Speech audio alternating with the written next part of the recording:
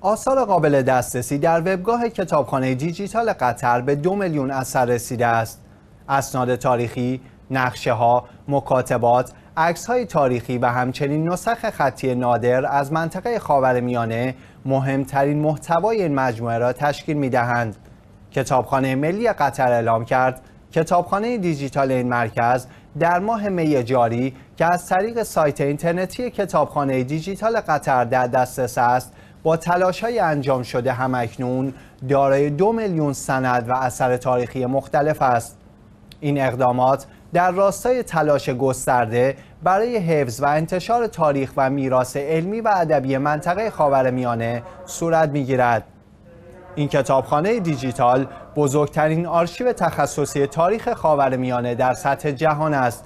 که با همکاری مؤسسه قطر و کتابخانه بریتانیا در اکتبر سال 2014 تأسیس شده و شامل مجموعه منحصر به فردی از مهمترین گزارش ها، مکاتبات، نقشه ها و عکس های تاریخی و همچنین مستندات صوتی ضبط شده متعلق به منطقه خلیج فارس و مناطق مجاور است که مورد استفاده متخصصان و کارشناسان قرار می گیرد.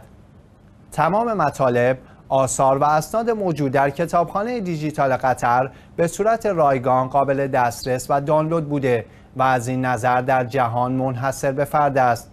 همچنین توضیحاتی نیز به زبان عربی و انگلیسی برای هر اثر و سند برای کاربران در دسترس می باشد. این کتابخانه از ابتدای شروع به کار خود در شش سال گذشته با استقبال گسترده پژوهشگران، دانشمندان، مدرسین و مخاطبان عام از تمام کشورهای جهان قرار گرفته است. علاوه بر این، کتابخانه دیجیتال قطر دسترسی به اطلاعات تاریخی را تسهیل کرده است و از این رو زمینه را برای جهش قابل توجه در پژوهش های تاریخی جدید و مبتکرانه در حول منطقه خلیج فارس خواهد شد. این کتابخانه علاوه بر اسناد تاریخی در چند قرن اخیر حاوی مجموعه نادری از نسخ خطی به زبان عربی درباره موضوعاتی از قبیل نجوم، ریاضیات، علوم نظامی، جغرافی، تاریخ و علوم انسانی نیز هست. تعداد بازدید کنندگان از این کتابخانه تا کنون به حدود دو میلیون نفر رسیده است.